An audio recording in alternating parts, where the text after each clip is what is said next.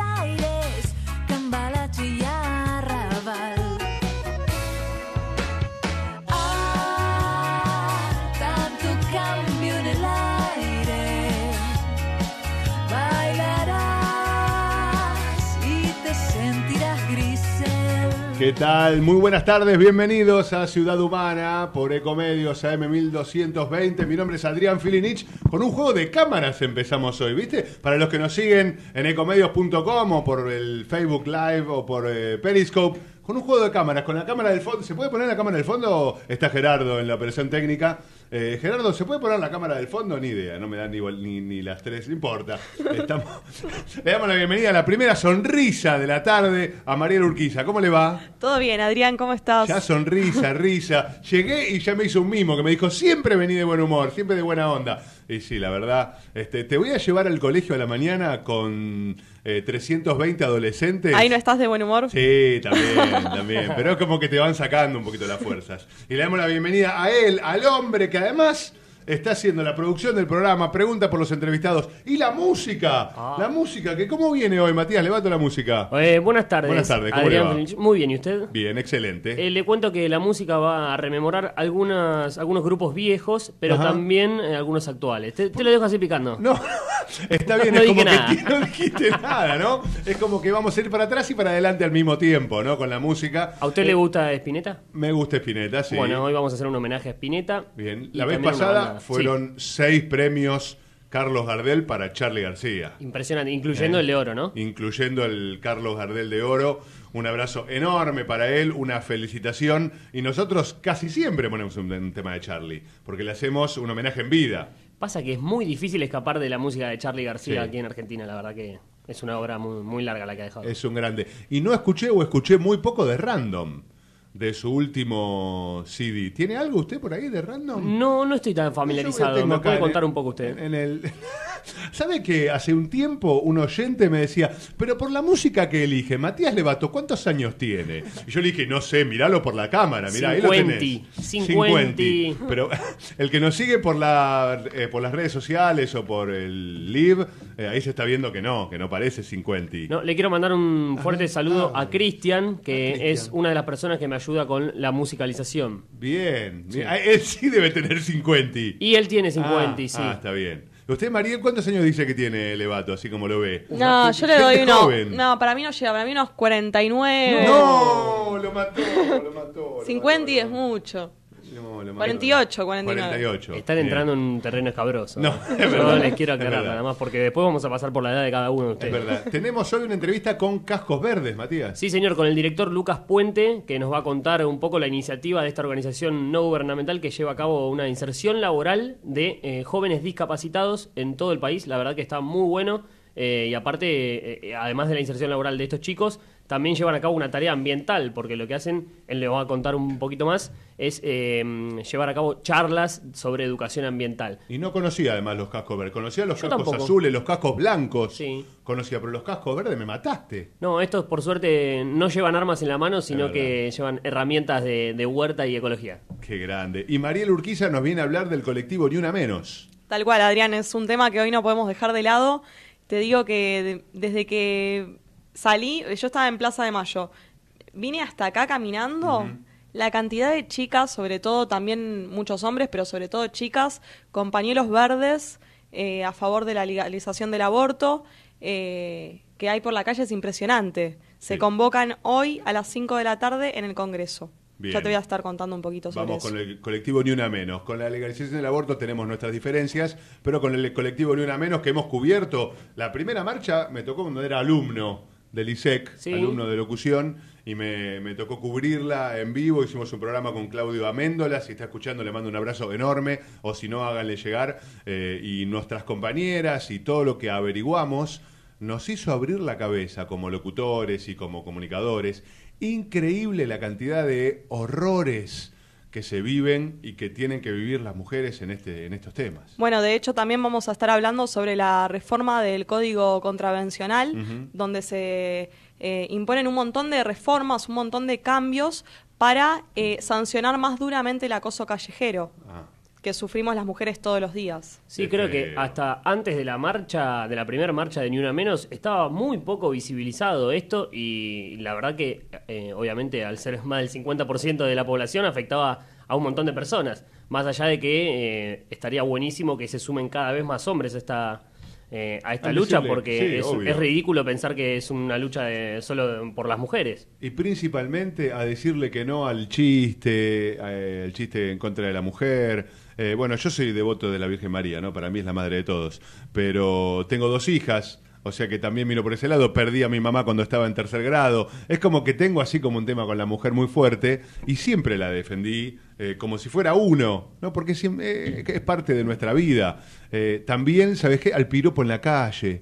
A esas cosas que ya son vetustas, que en realidad hace 10 años que era recomún. Yo en el secundario, 20 años, era recomún salir piropo, hasta piropo guarango. Y todas esas cosas, gracias a Dios, están muriendo y le tenemos que decir basta. ¿Y, y con qué velocidad están muriendo? Sí, a mí me sorprende sí, ver cual. la velocidad con la que la gente eh, enseguida dice, tené cuidado con lo que vas a decir respecto a esto. Algunos eh, siguen todavía con un poco eh, la broma de que piensan, no sé, que este es un colectivo que, que busca algún tipo de revancha y en realidad no, lo que están tratando No. de hacer es que la gente se dé cuenta de lo que sufren todos los días cuando suben al colectivo, cuando viajan en subte, cuando Y- van por la calle. Principalmente lo que hablaba Mariel hace algunos programas, ¿no? Que el tema del sueldo, ese techo de cristal hablaba, ¿no, Mariel? ¿no? Tal cual. Eh, El techo de decir igual cargo, igual eh, posición, el salario de la mujer es menor que el del varón.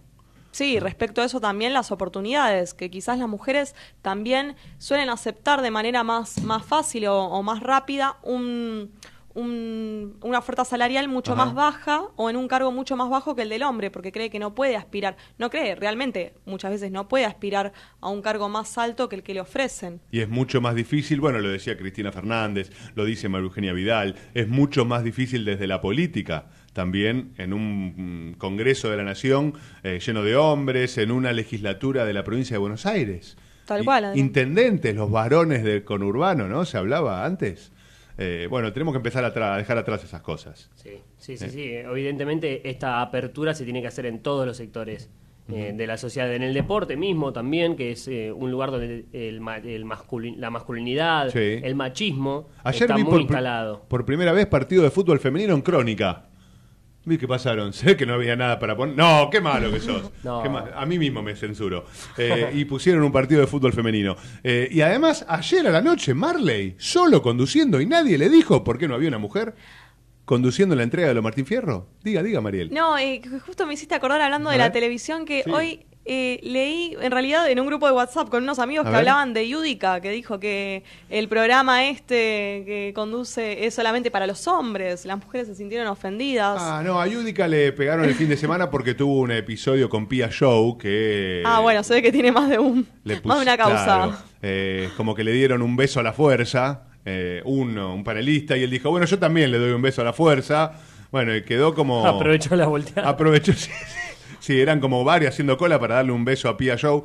Después salió ella en el Twitter a decir que estaba todo arreglado, que era una... Pero no parecía, al aire no parecía, ella parecía enojada en serio. Se fue del aire, después volvió y le pegaron bastante a Mariano Yudica en, en el fin de semana con respecto a eso, o sea que ya debe juntar varias, ¿no? Sí. En la mochila. Eh, bueno, hoy también eh, Georgina John Ferry para hablar sobre el Día del Plástico. Ay, ahora me perdí, Georgina. A Georgina la vamos a tener por Skype. Ah, y sí, vamos a ver si solucionamos los problemas Sí. eh, por Skype. O sea que yo me voy a conectar con ella y ella me va a hablar por Skype. Ya debe estar escuchando el programa, ¿no? Conociéndola y me de- debe estar insultando en cuatro idiomas porque no sé de qué va a hablar ella. Es el Día Mundial del Ambiente. A las pelotas. ¿A hace dónde? lejos hace tiempo. Uy, ¿dónde era? Cerca de Vea Gaona. Lo fui a ver. de la avenida Gaona. Sí, eh, pero no me acuerdo el lugar. Me vas a Un lugar matar. grande, un lugar chico. Un lugar chico, Yo le digo porque chico. conozco muchos escenarios Sí. de la, City porteña. Tocaba de telonero la Academia del Bardo. ¿Te imaginas que hace muchos Uh. años? Eh? Sí, hacía radio. 80. Eh, 80, sí, sí, sí, hace muchos años. Eh, se vienen las pelotas, ¿podemos? ¿Se puede? Sí, señor, se viene Si Supieras. Además, un temazo. Para mí es uno de los temas más conocidos de la pelota y también más representativo de, de lo que fue esta banda, de lo que es y que sigue marcando eh, Tendencia. tendencia en el rock nacional. de la separación de Sumo, quedaron divididos y las pelotas.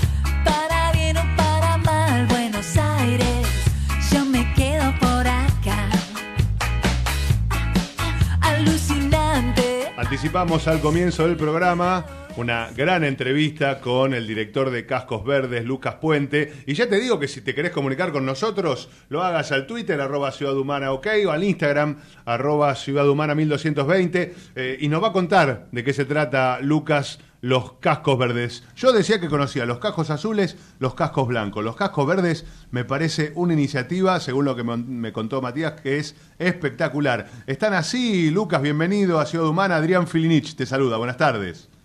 Hola Adrián, ¿cómo estás? Muy Muchas bien, gracias muy bien. por el espacio. No, por favor. Eh, además, contanos de qué se trata Cascos Verdes. ¿Tiene algo que ver con esta, eh, con esto que decía yo de los cascos azules, cascos blancos o nada que ver? Mm, No, no, No. vamos por otro lado, pero te cuento un poquitito, un poquitito sobre nosotros. Dale. Eh, mira, Cascos Verdes es una es una ONG, somos una asociación civil que nació en el año 2007 y lo que hace Cascos Verdes, nosotros nuestra misión es traba- nosotros trabajamos por la inclusión de personas con discapacidad intelectual y lo hacemos mediante la educación ambiental, ¿no? Bien. Esa es como si esa es nuestra nuestra gran misión, el para qué para qué estamos. Y qué es lo, lo que hacemos nosotros es tenemos convenios con distintas universidades y acá en, en Capital Federal y también tenemos un convenio con la eh, Universidad Católica de Salta que lo que hacemos es darle la posibilidad a personas con discapacidad intelectual de que puedan vivir una experiencia universitaria y cursar cuatro años en la universidad para poder gradu- graduarse como educadores ambientales. O sea, las personas con discapacidad intelectual, eh, como casi todos saben, no, so- no solamente tienen dificultades enormes para poder acceder al ámbito secu- secundario, ni que hablar a lo que es la universidad. Entonces, desde Casco lo que hacemos es ofrecer la posibilidad a, a- a personas con discapacidad intelectual de eh, ir a una universidad y recibirse de educadores ambientales, graduarse de educadores ambientales. ¿A qué universidad Claro. van y de qué se trata ser un educador ambiental? Te cuento, mira, actualmente nosotros tenemos acuerdos con cinco universidades, con la, la Universidad Católica en Capital Federal, Bien. con San Andrés, con la Universidad Torcuato y Tela, con la, la Universidad Austral en Pilar y con la UCA en Salta. Ah, bueno, un montón. Sí, un montón, un montón. Es un programa que dura cuatro años. Eh, ya, mira, en estos diez años de, de trabajo pasaron por por, eh, por los cursos casi 350 alumnos. O sea, 350 personas tuvieron la posibilidad de eh, vivir una experiencia universitaria y, y aprender, digamos, en temas que tienen que ver con todo el cuidado del medio ambiente. Ahí está. ¿Qué hace un, poco un educador ambiental? ¿Cuál es su, eh, el rol? su objetivo? un poco Sí. cómo funciona el programa. Dale. El programa eh, tiene distintos abordajes, ¿no? Eh, no solamente en formar a la persona con discapacidad intelectual en temáticas de medio ambiente, sino se comienza a trabajar con temas básicos eh, que hacen a la vida universitaria, ¿no? Eh, no sé, cosas básicas, eh, de temas de puntualidad, de eh, las dinámicas dentro del aula, o sea, tenemos materias que se llaman estudiantes PEA, que PEA es el programa, Ajá. estudiantes PA1, estudiantes PA2, o sea, arrancamos, digamos, todo el programa eh, abordando temas que tienen que ver con la vida universitaria, eh, digamos, para introducir a las personas con discapacidad intelectual en este nuevo mundo, si se quiere, ¿no? Eh, para que te des una idea, esto es un cambio no solamente a nivel persona, sino a nivel eh, familia también. Eh, entonces, bueno, después cuando se pasa sobre por, esta etapa inicial, eh, nuestros educadores empiezan a formarse en temas que tienen que ver con no sé, el medio ambiente y los recursos naturales, las tres R's de eh, las tres R's de, digamos de la sustentabilidad, el consumo responsable, eh, en fin, distintos temas que hacen al- a lo que es eh, el cuidado del medio ambiente. Bien. ¿Cuáles son las tres R's? Los- Perdóname. Sí, ¿Las tres R's cuáles son? Reducir, reutilizar y reciclar. Perfecto. tres R's de... sí. Y bueno, los últimos dos años del programa, que el programa dura cuatro años, los jóvenes tienen eh, dentro de su formación la oportunidad de realizar distintas prácticas eh, profesionales en pueden ser en distintas empresas. Nosotros eh, ofrecemos eh, servicios a empresas en donde los educadores son los que transmiten los, los conocimientos a puede ser los empleados o mismo también en vía pública. Y también, no sé si ustedes conocen, Escuelas Verdes, los educadores ambientales también brindan, brindan capacitaciones a, de repente, chicos, muchos más chiquititos, en distintas escuelas acá en Capital Federal. Me encantó. sea- ¿Sabes, ¿sabes por qué? Me, me- tengo dos preguntas, es más, para educadores ambientales. Si tenés ahí uno, eh, se las hago a ellos. Si no, te la hago a vos. Eh, por ejemplo, eh, cuando como un yogur, ¿no? Termino de comer el yogur, ese de, de frutillas y todo. Lo raspo bien de todos lados. ¿Es para reciclado? Si está, en, digamos, seco y no está húmedo, sí se recicla. Bien, otro. Cambié el riel, el riel de metal donde va la cortina de mi hija, todo de metal. Obviamente lo puse en el tacho de reciclables. Y mi hija me dijo, no, no va en el tacho reciclable. No, ves que no pegó una. No, bueno, en realidad eso se trata como un residuo aparte. O Ah. sea, para que te des una idea, todo lo que es residuos secos, cartón, papel, eh, plástico, esos son, digamos, los principales, eh, los, los más conocidos, Sí. los que, eh, digamos, se reciclan. Siempre que esté seco ¿sí? y esté limpio para que pueda ser eh, reutilizado. Bien, ¿plástico? También, sí, También. obvio, sí. Viste, yo tendría ya tres preguntas le haría a tu alumno o a tu profesor. ¿De qué se reciben? ¿Cuál es el, el título que, que se recibe uno que trabaja así? Bueno, es, es un título que no es un título oficial de la universidad, es un título que brindamos desde Cascos y se reciben como educadores ambientales. Bien. Después ellos está buenísimo porque eh, un poco es romper el paradigma de lo que es el abordaje de la discapacidad, ¿Qué te en parece? donde eh, intuitivamente uno eh, trata a las personas con discapacidad como debajo de un ala y, y Claro. los pone dentro, si se quiere, de un cristal acá. No, los alumnos desde que ingresan a cascos eh, son alumnos eh, como cualquier alumno universitario, van a la, a la facultad, interactúan con sus pares, van a, lo- van, no sé, van a un bar. Es como que es un cambio a nivel también, a nivel familiar, porque la familia tiene que también cambiar la forma en que, eh, digamos, eh, digamos, aborda a- al familiar. O sea, es un poco también soltarle la mano y dejar que la persona con discapacidad intelectual, entender simplemente que es una persona que tiene eh, que tiene un potencial y que hay que descubrir ese potencial. Entonces, nosotros trabajamos muchísimo en el proceso. Dentro de, por ejemplo, no sé, se me ocurre ahora contarte que eh, nuestros nuestras clases eh, no se rigen como una clase, si se quiere, normal, en donde uno apunta al resultado, en donde se los examina del 1 al 10, sino que cada persona, nosotros evaluamos a cada persona, eh, digamos, de manera específica. Entendemos que cada persona tiene capacidades distintas y, bueno, nos amoldamos a eso. Qué grande. ¿Cuánto habría que hacerlo en el secundario normal, esto que estás diciendo, no? El trabajo por proyectos. Es, tremendo, es tremendo porque dentro del aula Claro. son 15 personas con, eh, con discapacidad intelectual, con Le- procesos de aprendizaje distintos. Diferentes. Y diferentes. es genial lo rico también que, de lo que surge ahí, ¿no? Cómo, cómo ellos se van superando día a día. Te sumo. Matías de vuelta. Lucas, ¿la familia eh, acompaña este proceso? ¿Está, digamos, presente dentro de las clases o los chicos van solos a la universidad y se desarrollan solos? ¿Será quizás No, algunos mirá, otros no? Funciona así. Nosotros exigimos un compromiso familiar porque si de repente nosotros todo lo que trabajamos, si no hay un apoyo atrás de la familia, cuando la persona llega a la casa, se cae, digamos. Pensar que de repente ahora la persona con discapacidad intelectual se sienta en la mesa y tiene un tema de conversación y le puede contar a su hermano, que también va a la universidad, que bueno, que él fue a la universidad hoy también. Entonces es un cambio y la familia tiene que acompañar. Ahora, nosotros siempre decimos que la familia se queda fuera de la universidad. Ah, Y claro, la que vaya persona con solo discapacidad él. intelectual Claro. llega a la Bien. universidad y está en el aula solo. Solo y nosotros tenemos un equipo de profesionales que se ocupan de transmitir los conocimientos y de, bueno, procurar el desarrollo de la persona. Claro, ahí va. Pero- Eh, a eso te preguntaba. En el desarrollo de la persona quiere decir que más allá de darle clase, se involucran en otros temas que, conciernen al alumno. 100%, 100%. Pensás que, no sé, que de repente el, el mundo universitario para la persona con discapacidad hasta, hasta antes de Cascos Verdes era desconocido y ahora tiene que aprender a estar adentro de un aula con sus pares, a saber que no puede hacer lo que quiere, que también que, que- que su opinión vale, que bueno, es todo un trabajo, sí. Un ¿Por qué, laburito. ¿Por qué Lucas está dividido en dos etapas eh, la carrera universitaria? Bueno, inicialmente nosotros, eh, el, pro- el programa que hoy dura cuatro años, era un programa que nosotros teníamos un programa, am- eh, digamos, de educación y por otro lado un programa de, eh, digamos, de, de laboral.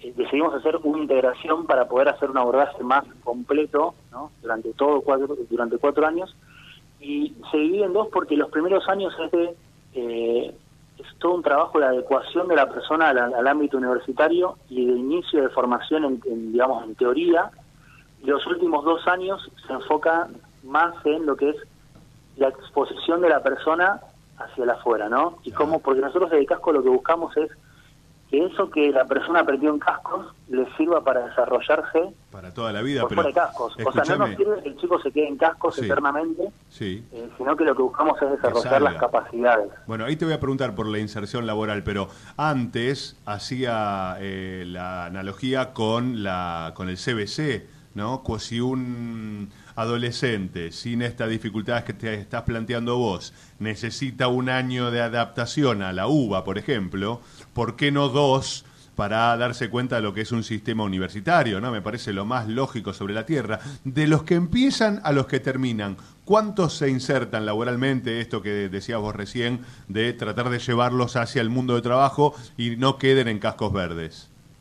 Ya te cuento que hoy, eh, de todos los jóvenes que pasan por nuestros programas, el 52% de los educadores termina trabajando en empresas, en sector público o en emprendimientos personales. Excelente. Es altísimo que sea más de la mitad. Excelente. Pensá que ¿Qué te parece? eh, la empleabilidad de una persona con discapacidad intelectual, si, si no estoy equivocado, creo que no llega ni al 5%. O sea, en, en el caso de cascos es del 52%. Y es por esto, ¿viste? Porque desarrollamos, tratamos de desarrollar a la persona para que pueda el día de mañana desempeñarse en, en- en otros aspectos, ¿no? No, no solamente eh, en estos cuatro años de lo que dura el programa. Bien, ¿y Así cómo, bueno, se puede bueno. colaborar con cascos verdes? ¿Formas de colaborar? Sí, dale. Bueno, sí, nosotros tenemos nuestra web que es www.cascosverdes.org. Bien, Eh, la forma económica desde siempre está, nosotros somos una organización que tratamos de diversificar la forma que nos financiamos, pero es totalmente eh, con apoyo de muchas personas. Entonces, bien. eh, creo que un primer paso es ese. Vale aclarar que eh, el programa de educación nosotros no, no, no- no- digamos no tiene no tiene costo para los educadores. Eh, es todo digamos Es a gratuito. voluntad y nosotros no hacemos distinción si de repente un- una persona no puede eh, digamos colaborar en el, con el programa. Eh, entonces la, la- la parte económica es súper importante para nosotros y también eh, en horas de voluntariado. Nosotros tenemos un equipo de, de personas, si se quiere, fijas, pero también necesitamos de muchas manos voluntarias que nos ayuden eh, en distintos aspectos. Así que eh, esas son como las principales, digamos, focos, focos de apoyo, si se quiere. Y también, bueno, contando lo que hacemos, difundiendo. Si tienen algún familiar que conocen con discapacidad intelectual, Bien. también que nos hagan el contacto para, para poder eh, conocerlo Sí, y ver sí. si, si puede prosperar el hecho de su participación en cascos. Te Eso también es Mariel. Urquiza que te quiere hacer una consulta. Hola Lucas. Hola, ¿cómo estás? Bien, todo bien. Tengo una consulta. ¿Y cuántos chicos son más o menos los que forman parte de- del programa? Actualmente, educadores cursando activos tenemos 99 este año, en los cuatro años. eh, y después tenemos, bueno, los egresados que pasaron por nuestro programa, cerca de 350 alumnos. De esos, el 51% está insertado 52, laboralmente, o sea sí. que tenés más de 150 educadores ambientales. Es increíble lo que estás planteando, es algo totalmente novedoso, no sé por qué todavía no te le hemos dado tanta difusión a Cascos Verdes.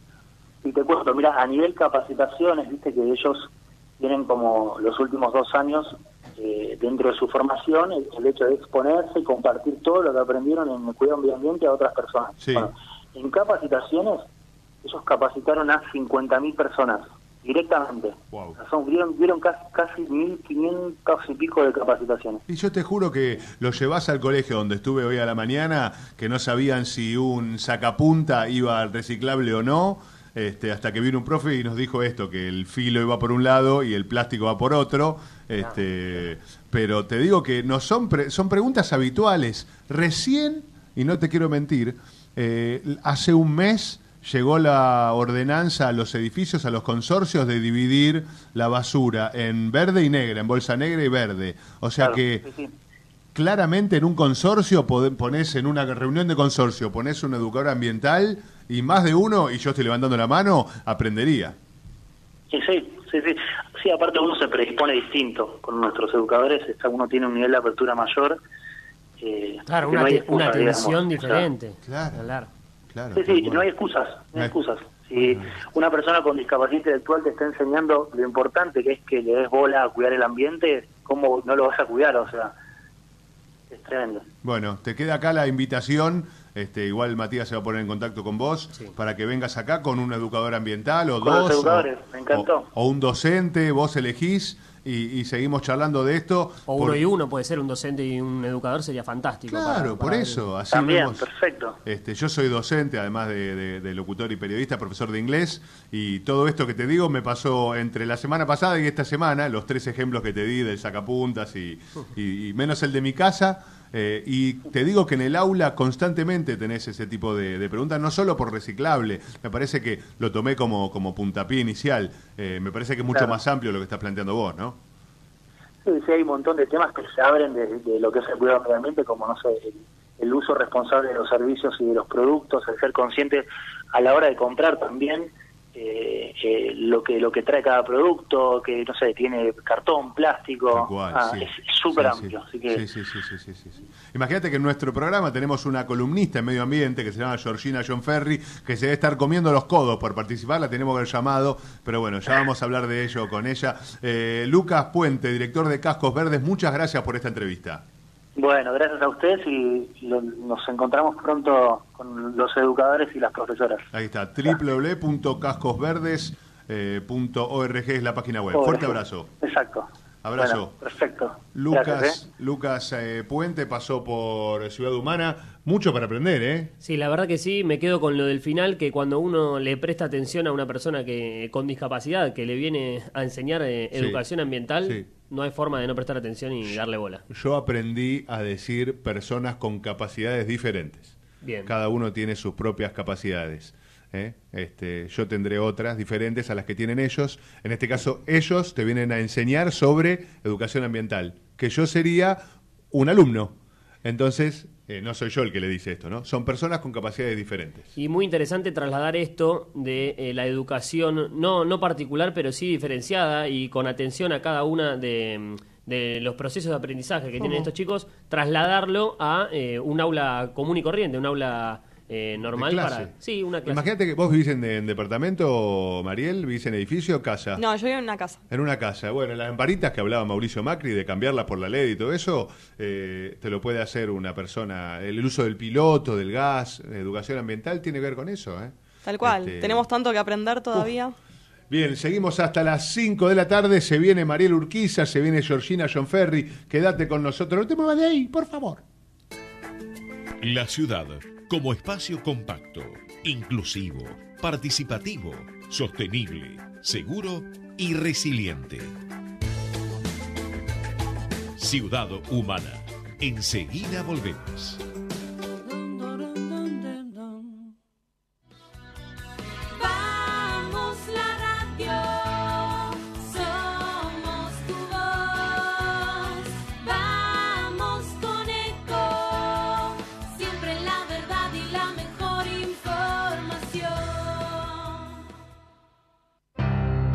Juntos nos propusimos reducir las muertes en las rutas.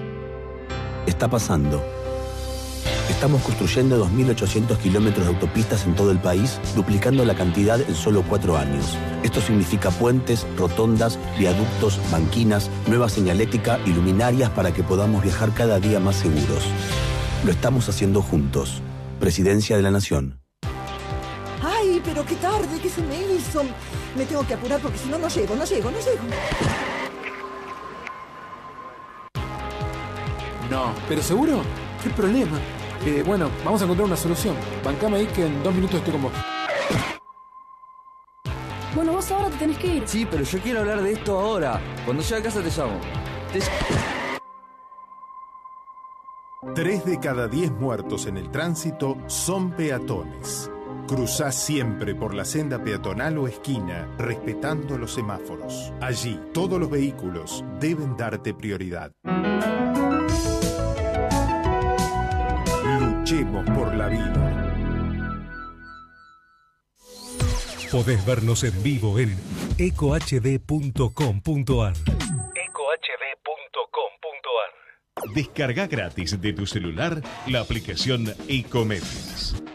Podés escucharnos en vivo, informarte con las últimas noticias y entrevistas en audio y video. Búscala y bajate la aplicación Ecomedios. Conectate con nosotros. Facebook.com barra Ecomedios 1220.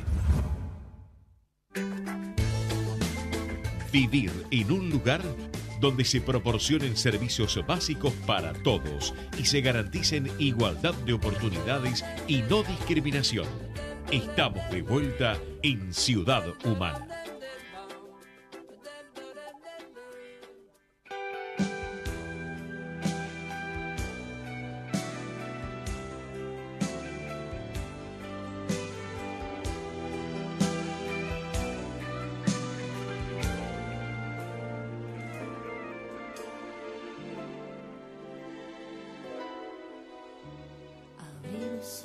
Y la vi. Estaba linda como siempre. Las primeras luces del día la invitaban a cambiar. Como en sueños intentaba ser el centro de algún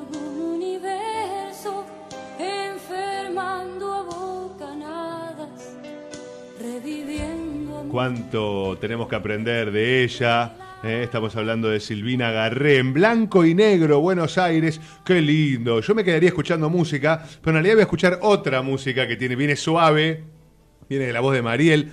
Viste, ya te presento así, ya quedas así como agrandada.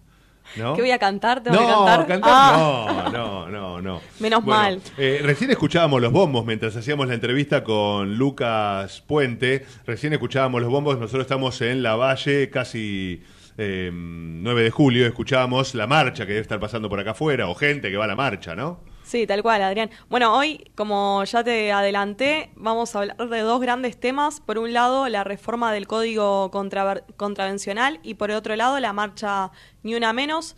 Se conmemoran ya tres años, el 3 de junio de hace tres años fue la primera marcha y ahora eh, se hace nuevamente, se estuvo haciendo ayer y hoy una convocatoria en el Congreso. De hecho, la gente ya se está movilizando para, para ir ahí con los pañuelos violetas y verdes también, eh, en reclamo de esta ley de aborto, muy polémica y que tiene la sociedad bastante dividida. Como bien nos contaba Matías, me, me estaba comentando recién que hay muchas personas que se oponen a este reclamo del aborto y que no quieren que se desvirtúe la temática del ni una menos, que tiene que ver Que por no ahí se mezcle. que empezó con un reclamo de las mujeres eh, contra la violencia machista, contra bueno todas las mujeres que fueron víctimas de femicidios. Y bueno, hoy se suma el reclamo del aborto, ya que el martes se va a estar tratando en el Congreso Nacional esta nueva ley. Y bueno, ahora te voy a contar un poquito eh, sobre qué va a tratar. Bien. Esta es la nueva ley de despenalización. Despenalización Sí. del aborto. Bien. Y bueno, bajo el lema eh, aborto seguro, legal, gratuito, que, que habrás escuchado. Y bueno, por ejemplo, una de las cosas que se plantean es un cambio vinculado al artículo que habilita a las adolescentes de entre 13 y 16 años a practicar un aborto sin la autorización de sus padres. Eso es lo que se planteaba en un principio. Ese punto se quiere eliminar debido a que dicen que va en contra del nuevo Código Civil y Comercial de la Nación, que em, nuestro código lo que establece es que las personas entre 13 y 16 años pueden decidir sobre su cuerpo siempre y cuando no corran riesgo de vida, mientras no, las intervenciones no sean demasiado invasivas. Eh, un aborto, la verdad que lejos está de no ser riesgoso, más allá de que esté en, en las mejores condiciones, como, como se pide, siempre hay un riesgo. Entonces, lo que se propone es para que se, para que se adecue a nuestra normativa que eh, los progenitores de esa persona que decide abortar presten su consentimiento. Bien. No que el adolescente el padre, pueda la ir. madre, claro. el tutor. Bien. Claro, no que el adolescente pueda ir libremente a practicarse un aborto un y en caso de no ponerse de acuerdo, de que quizás el padre o la madre digan que no, ver cuál es eh, la situación de, de esa adolescente y siempre priorizar su interés superior, como establece nuestro Código Civil. Es decir, que no corra riesgo de vida, por ejemplo. Tal cual, tal cual. Sí, hay otra corriente que habla de salvemos las dos vidas, ¿no? Salvemos Sí. la vida de la madre, que es importantísimo, y salvemos la vida del bebé, que también es importantísimo. Bebé o como lo quieran llamar. Este, para mostrarle las dos caras, ¿no? Y que cada uno de los oyentes tome su propia decisión. tratamos de no influirlo, simplemente comunicar lo que está pasando y que cada uno pueda tomar su propia conclusión y después cada uno puede opinar ¿eh? lo que lo que quiera. Bueno, me das pie también a contarte sobre la regulación de la objeción de conciencia. Bien. Con respecto a esto que vos decís, hay muchos médicos que quizás por sus creencias religiosas, su, cre- su moral, sus- su aprendizaje, lo, su, qué sé yo, su conciencia, Sí. no quieren practicar un aborto. Bien. Entonces, lo que se plantea es que se modifique eh, esa cláusula y que aquellos que no quieran realizarlo por alguno de estos motivos puedan abstenerse, siempre siendo los médicos de manera personal, nunca las instituciones. Es decir, un hospital no puede decir, bueno, en este hospital no se practica el aborto, claro, sino que el médico decide y dice, bueno, yo por, por mis creencias religiosas o por lo que fuere, decido no practicarlo. Bien. Y además, eh, te quería sumar algo, pero ahora no me acuerdo. Yo que- Sí, decime. quería destacar una cosa, que quizás a veces cuando se habla de aborto clandestino, eh, se tiene en cuenta que esto es en malas condiciones. Bueno, hay abortos clandestinos en malas y en buenas condiciones. Eh, esto es una realidad más Claro. allá de la perspectiva que pueda tener cada uno frente a una posible ley de despenalización del aborto. La realidad es que hay abortos clandestinos en buenas condiciones y otros, y otros no abortos tanto. clandestinos en malas condiciones, por supuesto, para la gente que no puede adquirir eh, Exactamente. Dicen ese que servicio. las que tienen plata lo hacen y abortan igual y las que no tienen plata no. Claro, parte del debate es ese, Es que ese. lo que se dice es que la gente que tiene dinero Lo o buen poder adquisitivo puede acceder a unas buenas condiciones de aborto y los abortos siguen ocurriendo, más allá de que exista una ley que eh, lo, lo- regulariza, digamos, eh, mientras otras mm, cientos, miles, la verdad que el dato exacto no lo tengo, eh, siguen padeciendo la, la mala desdicha de, no poder eh, llegar a esos servicios de calidad. Bueno, y este tema también está muy en auge porque el martes se va a tratar en la Cámara de Diputados eh, el dictamen de la ley que supuestamente se va a sacar. Respecto a lo que opina el presidente Mauricio Macri, personas cercanas, fuentes cercanas a Cambiemos, dicen que él respetará la decisión del Congreso, que sea cual sea la definición del debate, eh, él se supone que no lo va a vetar, pero esto son todas eh, conjeturas que se hacen, la verdad que no lo sabemos y vamos a tener que, que esperar. Sí, yo le sumo que hay muchos puntos en común que se pueden empezar a trabajar y uno tiene que ver con toda la educación sexual que no se está dando y que no se está proveyendo desde los hospitales, desde los colegios. Entonces yo empezaría, eh, no desde las diferencias, sino desde lo que nos une a todos, que es en la prevención, eh, en la profilaxis. eh, en La educación, planificación familiar. En la planificación familiar. Entonces, todos esos temas eh, tienen que ser, para empezar ya, no hace falta una ley. Eh, tienen que empezar a, ejecutarse los presupuestos, por ejemplo, que decían que había presupuesto para esto y eran solo de, se había ejecutado creo un 30%. Eh, o sea que en todo eso podemos empezar a trabajar ya. ¿eh? Y que después cada uno saque, saque su propia conclusión. Eso es lo más eh, interesante, por lo menos que tengo. Y decir, del colectivo ni una menos que no se mezcle con el tema del aborto. Y claro, Seguro, para mí yo apoyé un montón de veces la marcha y lo seguiré haciendo eh, del, del ni una menos. Ahora se empiezan a cambiar, eh, se empiezan a mezclar con este tipo de, medidas que lo enturbian, no sé cómo llamarlo, no quiero ofender a nadie con esto y ojalá nunca nadie se sienta ofendido, pero me parece que son dos caminos diferentes, ¿no? Uno es el ni una menos y otra es la despenalización del aborto. No, no, no es que se enturbien, pero es cierto que eh, una cosa es la consigna de, una marcha y otra cosa es la consigna de eh, la lucha por la despenalización. Obviamente que eh, el objetivo de la marcha Ni Una Menos siempre son las mujeres y es la, la- la vida y la salud de las mismas. Creo que en definitiva todos estamos a favor de lo mismo, todos estamos a favor de la vida. Lo que pasa que hay personas que eh, Sí, tienen una conciencia que apunta hacia un lado y, ot- y otra, y otras personas eh, tienen una conciencia más de eh, la persona que se va a realizar el aborto o la persona que sufre, eh, la- se- es víctima de que no tiene voz, como puede ser un feto, por Sí, ejemplo. sí, sí, sí. ¿Qué Tal nos cual. queda, María? Bueno, eh, ahora Creo que esto no va a traer discrepancias entre Ah. ninguno de los que estamos aquí presentes porque se trata de la modificación del código contravencional Ajá. y lo que se busca es justamente sancionar más duramente el acoso callejero, Bien. cuidar a las mujeres, cuidar a las mujeres que transitamos día a día eh, las calles de Buenos Aires y el transporte público.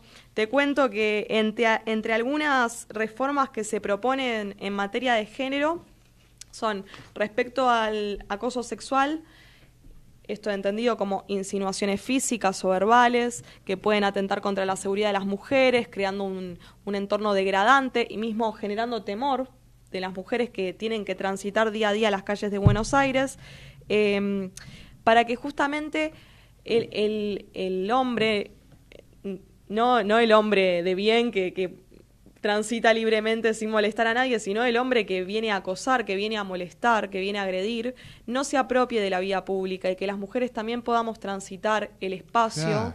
de la ciudad de Buenos Aires y que podamos disfrutarlo, eh, al igual que, que el género masculino. Y que se puedan poner la ropa que quieran y que no ponerse una pollera corta significa que Tal cual. trajiste 60 insultos y, y guarangadas arriba de tu cuerpo porque caminaste por la calle. Es terrible cuando una En chica verano, es violada y, y alguien No. sale. De hecho, han salido un montón de personas en los Claro. medios de ¿Qué llevaba comunicación puesto?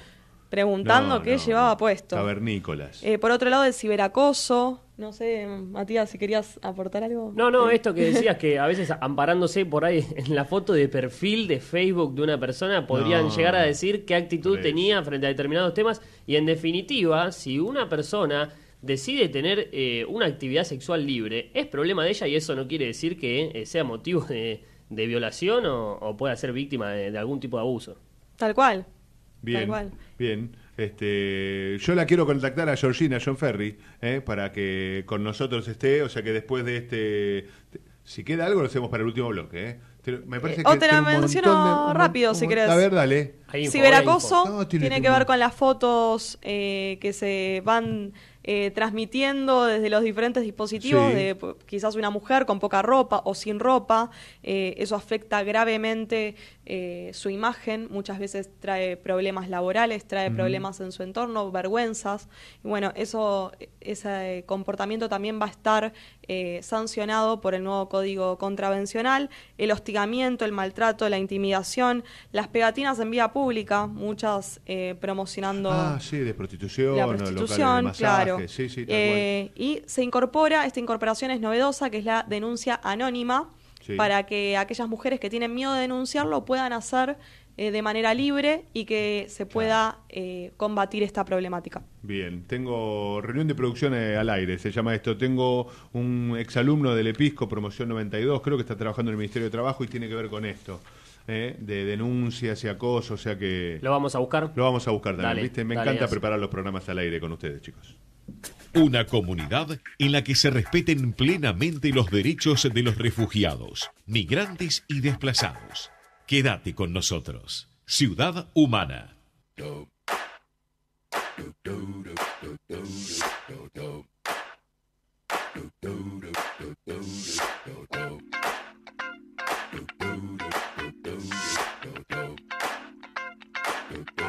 Haciendo una prueba vía Skype, la tenemos a Georgina John Ferry. Georgina, bienvenida a Ciudad Humana, ¿cómo estás?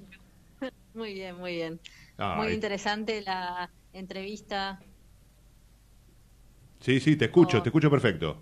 con Cascos Verdes. Es verdad, es verdad, los cascos verdes. Vos tenías idea de que existía, nunca nos nombraste cascos verdes. Yo después me traen esta nota y. Sí, sí, de hecho tuve la experiencia de escucharlos y conocí al, eh, estuve trabajando con Javier Ureta, que, que es uno de los fundadores. Bien, bien. Y mañana es el Día Mundial del Ambiente, 5 de junio, y yo me tengo que tener Día- por. Por Dios. Día Mundial del Ambiente y el lema de este año, todos los años se establece un lema para concientizar sobre algún tema en especial. El lema de este año es un planeta sin contaminación por plásticos. Apa, claro, porque lo que sí sé es que tarda muchísimo el plástico que se tira, por ejemplo, en la montaña. Hacía, mu- había mucha cultura de esto de- en el Marianista también, Sí. eh, de no tirar plásticos en la montaña porque puede llegar a tardar más de 100 años en, en degradarse Sí. y más. 400 o 500 años también. Una bolsa de plástico tarda esa cantidad de años en degradarse, mientras tanto sigue contaminando la, la tierra o, o la- el agua o donde sea que, que haya caído. Ah, la, la, la. Sí. La verdad es que a nivel global, está, o sea, a nivel mundial, estamos vertiendo en el mar 8 millones de toneladas de plástico cada año, que es como un camión de basura eh, por minuto. Por minuto. Un camión de basura lleno de plástico por minuto. Por minuto. Ya se, ya se hizo como una isla en el Pacífico que se, se la denomina isla tóxica y que cada vez avanza más y para el 2050 con estas estadísticas podría haber más plásticos que peces. Eh, qué- qué- claro, ¿y cómo se empieza a quitar?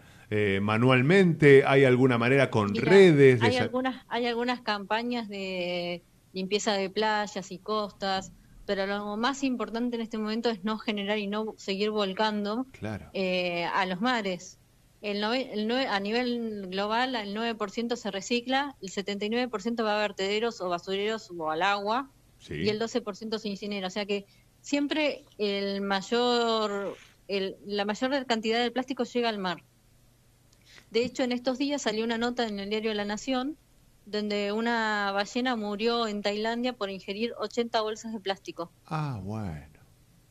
que son aproximadamente 8, ki- 8 kilos. O sea, Pobrecita. el, el pro- el problema de, claro, el problema no solamente es de, de las islas de plástico que se están generando, sino cómo afecta a la biodiversidad. Las tortugas marinas las confunden con medusas. Entonces se las comen creyendo que son medusas, que es su alimento, y terminan muriendo. Claro. Por Dios. Y que se tiene que hacer eh, en esos colores, ¿te acordás que nos mostrabas vos hace un tiempo? En esos diferentes colores había uno para plástico. Eh, se tiene que Sí. poner, yo recién hablaba con, con eh, Lucas Puente y decía que el plástico viene en el tacho de reciclables, eh, en el cesto de reciclables. Sí, van el- se tiene que hacer algún tratamiento. Claro, como, como que siempre que sea seco, es verdad. Porque decía del, del tarrito del yogur. y el claro, tarrito de yogur limpio y seco. Siempre los residuos para tirarlos en el tacho de secos va limpio y seco. Y el de la Si leche, El cartón eh, está sucio, por ejemplo, Sí. de grasa de pizza, no va en el tacho de residuos. y el sachet de leche, si lo abro, lo tengo que secar primero. Eh, bueno, por lo menos limpio. Por y el salido de leche por lo menos también se usa para otras actividades que se puede eh, guardar o llevar a algún punto donde se recicle para, por ejemplo, se cosen bolsas con sachet de leches. Georgina, recién no te escuché bien. El cartón de la pizza que tiene el queso, el aceite, la grasa, ¿dónde va? ¿A la Ah, la basura común? Sí. No, no, ni siquiera basura orgánica, ¿no? Porque el cartón no, no, es, or- no es algo orgánico que se pueda... Mm, No, va con el resto de los residuos que se lleva el el basurero, porque no se puede reciclar y además si vos lo pones con los re- residuos secos, contamina y los ensucia los otros residuos. Claro. Sabés que me abrió mucho para mí la cabeza la campaña del Hospital Garraham con respecto a las tapitas, tapitas. de plástico, Sí. ¿no? Como que Ese, es- ese es, una- es algo que a la gente la motivó mucho Sí. a juntar los plásticos y separarlos. Y, y también te quería comentar respecto de las tapitas que como iniciativas para además de juntar tapitas también tenemos que tomar en cuenta de tomar decisiones de dejar de usar determinados productos. Por ejemplo, en vez de usar vasos descartables en un trabajo, llevarse su propia taza, bien, o en vez de llevar eh, la comida en una bolsa, llevarla en un tupper. Esos pequeños gestos que ayudan a, a generar menos bolsas. Claro, elementos, Menos elementos reutilizables, lavables. ¿Y el telgopor La- es lo mismo o es, pe- es peor? ¿Es igual? El tergopol es un polímero también y tiene toda una forma distinta de, reciclado, pero sí se recicla. ¿Le levantamos el pulgar eh, como, eh, o le bajamos el pulgar al telgopor? No, se puede seguir usando siempre y cuando se busque reciclarlo, cuando se deja de utilizar. Porque en alguno de los trabajos, en alguno de los lugares donde voy habitualmente, se sacó el vasito de plástico común blanco y se puso este de telgopor. ¿Es mejor? El térmico. El no, térmico. el térmico estamos en la misma. Ah, Estamos en la misma. Llévate tu taza, tu jarro térmico, tu vaso de vidrio y, y también comentarte que en base a esto, que hay mucha gente que reutiliza la botellita de plástico, la llena, la vuelve a llenar de agua, sí. que comemos y bebemos envases de plástico, en envases de plástico y también co- comemos y bebemos plástico, porque el 90% del agua embotellada contiene partículas de plástico y el 83% de agua de grifo contiene partículas de plástico. Ah, la, la, la. O sea que estamos contaminados hace rato sin saberlo. Sin saberlo. Además, todas las O botellas. Que es mejor tener Sí. una botella de agua encima de vidrio, no de plástico, porque el plástico en definitiva va a seguir largando partículas y nos estamos contaminando nosotros mismos también. Ah, la, la, la. Yo tengo una que dice agua, es buenísima, mi botella de vidrio es espectacular. Dice agua y de- del otro lado dice water. Para no confundir. Para no confundirme y pongan. Igual a veces preparan jugo eh, eh, las bueno, chicas. le podés poner jugo también, pero eh, exactamente, o sea, la idea es una botella de vidrio. Botella de vidrio. Para Tengo- tener encima quizás no es muy cómodo, pero eh, las botellas de plástico que la gente suele rellenar Yo. eh, es, es contaminante. No digas la gente, todos los que estamos en este estudio, Georgina, acá, La mayoría. me- metemos la pata todos acá. Hagámonos cargo. Menos Gerardo, que no sé, que vive en una estratosfera, todos acá, que es nuestro operador. Este, acá todo el mundo, yo relleno la botella y pues, comúnmente me dura como un año la botella. Hoy Gerardo llegó con la botella Bueno. de vidrio. ¿eh? Llegó con la botella de Claro. vidrio. Muy bien. La botella de vidrio es una buena opción y, y esos pequeños gestos de ir reemplazando y reduciendo los plásticos en nuestras vidas. Tal En la cual. Unión, te comento que en la Unión Europea hay un proyecto para eh, el prohibir 10 productos como hisopos, eh, sorbetes, eh, cubiertos, cubiertos de plástico, platos de plástico, agitadores de bebidas, que serían los que revuelven los tragos, Sí, y los palitos de los globos. Ya directamente, esto es verdad, y Todo todo, eso esto consumo. Sí, sí, sí. representa el 70% de los residuos que generan. No, increíble. Qué En- impresionante. entonces, eh, hay una idea de, bueno, de ir eh, prohibiendo estos productos. Nos estamos yendo, Georgina. Aprobó Skype, ¿eh? La verdad que te tenemos Bueno. acá y no se cortó en ningún momento. No se cortó por suerte. ¿Y ¿Nos escuchaste bien a nosotros? Perfecto. Bien, muy bien, nos Eh, vamos. Sí, la última que le iba a hacer a Bueno. Georgina. Sí. eh, eh, Sí. ¿Sos optimista en cuanto al cuidado del medio ambiente de aquí en los próximos años? ¿Crees que realmente vamos a hacer cambios muy importantes en la ciudad de Buenos Aires y en Argentina? Sí, sí, yo creo que sí, porque las nuevas generaciones, como cuenta eh, Pepo, que, que la hija lo, lo reta y le enseña, creo que las nuevas generaciones están mucho más concientizadas de esto y, y al- de la mano leyes que van a la- cada vez siendo más restrictivas, como la prohibición del uso de bolsas, eh, ayudan a estas, a estas medidas y creo que, que, o sea, quiero ser más optimista porque creo que, se- que concientizando se puede. Gracias, eh, Georgina, por este informe. Nos reencontramos el lunes que viene. Nos vamos con vos. Un fuerte Dale. abrazo. Buenísimo, saludos a todos. Chao, Mariel. Saludos. Chao. Mati. Chao, Gerardo. El lunes que viene a las 4 de la tarde hacemos Ciudad Humana. Feliz Día del Ambiente. Feliz día. Feliz hasta día. Abrazo grande. Las ciudades son responsables de promover el uso del transporte público, proporcionar a los ciudadanos espacios públicos seguros y verdes, gestionar de forma sostenible los residuos sólidos, con énfasis en la reutilización y el reciclaje, definir, identificar y proteger el patrimonio cultural urbano tangible e intangible para las generaciones futuras y asegurar el acceso de todas las personas a viviendas y servicios básicos. Ciudad Humana.